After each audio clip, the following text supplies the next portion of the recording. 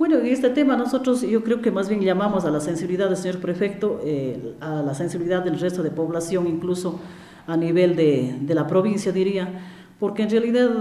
yo creo que con todo este, este sistema de que no, no, hay recursos a nivel de país, un ejemplo, esta es una tasa ya adquirida, un impuesto adquirido que de, de 10 años incluso, creo que es un modelo que se ha implementado y si es que implementamos haciendo una reforma a las ordenanzas que existen sobre la tasa solidaria, lo mejoraríamos mucho mejor, incluso no se... Eh, no se cobraría demasiado, porque algunos dicen están comprando demasiado ¿no? a los carros, entonces en este caso habría que eh, hacer esta reforma que han planteado y ya está hecha más bien en el CONAJUPARE,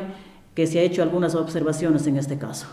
Yo creo que en realidad quizás no solo al tema de René Lucero, sino más bien eh, a nivel de provincia hay presidentes de juntas parroquiales que nos hemos reunido a nivel de provincia. ¿Por qué? Porque hemos sido autores y gestores de esta tasa solidaria. Digo porque cuando hace años estuvimos, nosotros también fuimos conociendo un modelo de otra provincia. Un ejemplo, usted Batungurahua encuentra ya vías asfaltadas a las comunidades, a los sectores, ¿no? Entonces, ¿por qué no acá hacer una reforma y ir empezando ya por lo menos un kilómetro de lastrado o, o algo así, que digo de pavimento también, ¿no? Eso es una de las propuestas en la ordenanza, un ejemplo. Y yo en este sentido voy a ser muy claro y una opinión personal y creo que como gobierno parroquial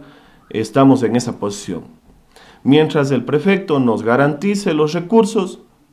no, yo no tengo el problema de, de, de, qué lugar venga, ya sea de la contribución de los vehículos por parte de cada uno de los usuarios, de los dueños, o a su vez si el prefecto nos garantiza dejar un recurso como un gasto ya corriente, un gasto que sea directo hacia las juntas parroquiales y me garantice el valor, el recurso, estaría yo apoyando a la moción del prefecto. Pero si no hay garantías de que ese recurso se mantenga, entonces compañeros yo creo que no podríamos eh, accionar o tomar una decisión diciendo que se retire y si no tenemos la garantía de que se nos dé. En varios eh, eh, conversatorios que hemos tenido con el prefecto, él nos garantiza el mismo valor, incluso el planteamiento de él es eliminar esa contraparte que nosotros damos y nos estaría entregando el recurso líquido sin contraparte y esa contraparte que el gobierno parroquial eh, direccionaba a tasas solidarias estaría realizando obras que ya son competencias exclusivas de nosotros porque también hay que tomar en cuenta, la concurrencia nos dan a las juntas parroquiales, pero debería de venir con recursos una concurrencia. No podríamos nosotros seguir apostando, porque a veces para los gobiernos parroquiales ha sido complicado reunir esta contraparte que, de acuerdo a los kilómetros de la parroquia, eh, es un significativo 25% de la, del valor de la tasa solidaria. www.achiras.net.es,